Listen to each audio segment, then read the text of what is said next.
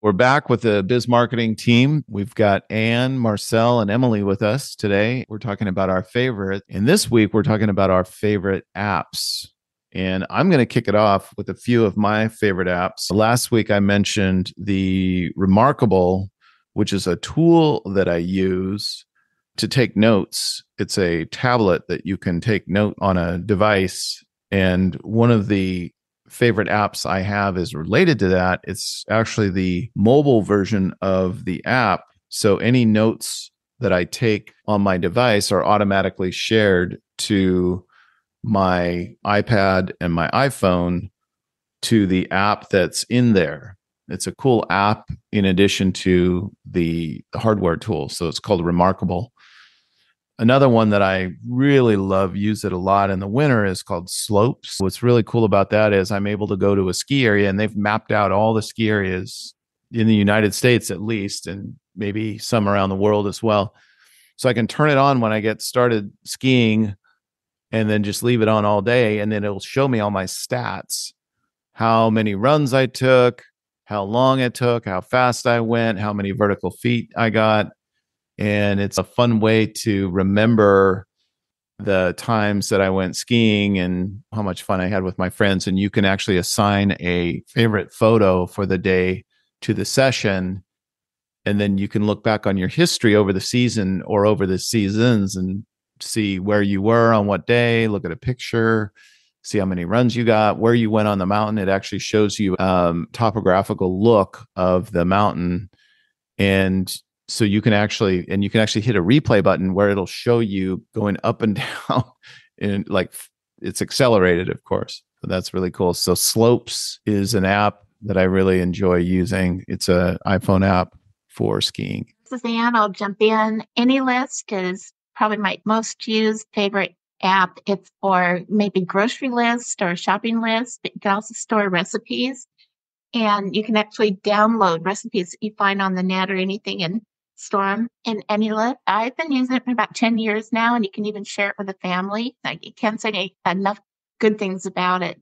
Another favorite of mine is AutoSleep. There's probably a lot of really good sleep apps out there, but it's helped me get through some issues with sleeping that have recorded like my deep sleep and my normal sleep. Um, and then the third one is called My Noise, and it just creates kind of a white noise that you can use like sitting outside. If you've got a lot of road traffic, you can create kind of an ambiance that blocks it out. Or at night, maybe you want to listen to, believe it or not, rain. it's soothing. And I'm amazed at how easily it helps me fall asleep. Cool. Love it. This is Emily. I talked in our favorite like books podcast that I am a very big book listener, but if you use Audible, that can add up. So I use Libby or Hoopla, and I just connect my library card to it, and I get just like insane amount of audiobooks for free. Sometimes you have to wait for them if they're popular books, but it's fantastic. So I use it all the time. And it's not just audiobooks, it's uh, as well. But yeah, so Libby or Hoopla, you can usually find whichever book you want on there. And I love them both. They're probably my top used app. And then just basics, but I love Google Photos. When my daughter was born, I made a little folder on there that I could share with the family. And then I can just choose whichever pictures I want to share with everyone and put it in that file because I have 15,000 photos on my phone. So obviously, not everyone wants to see those. So I can just upload the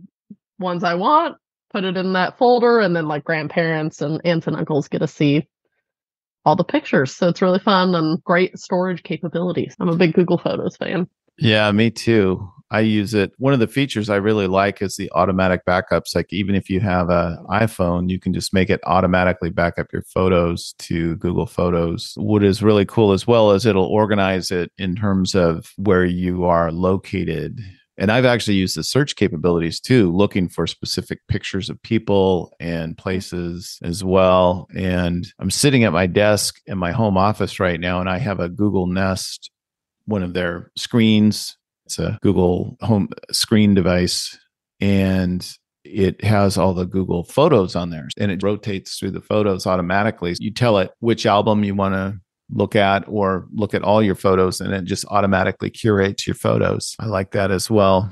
How about you, Marcel? Well, it's no surprise. My favorite app is just the Adobe Creative Cloud application set. I just, it's an everyday thing, part of work, but I also use it as an individual because there's no limit what you can create with those applications. You can either use one single application or when you combine them both as well, there's no limitation on, on creativity.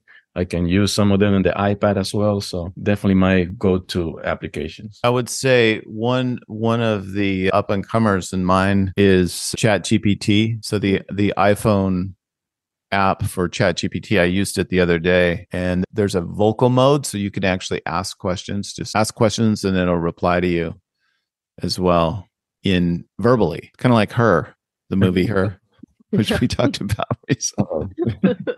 there are so many apps. I'm kind of a, a weather junkie too, and the new iPhone weather app actually has a lot of data if you just drill down into it. And I really find that helpful as well. Great. Glad to hear you all have some great apps to use. Let us know what apps you like to use. Maybe we missed one. Maybe there's one we need to hear about. So shoot an email off to bizmarketing.com and maybe we will feature it on an upcoming episode. Thanks, everybody. Thanks for listening to this episode of Biz and Life Done Well with Peter Wilson. You can subscribe to us on iTunes, Google Podcasts, Spotify, and most of the other popular podcast platforms.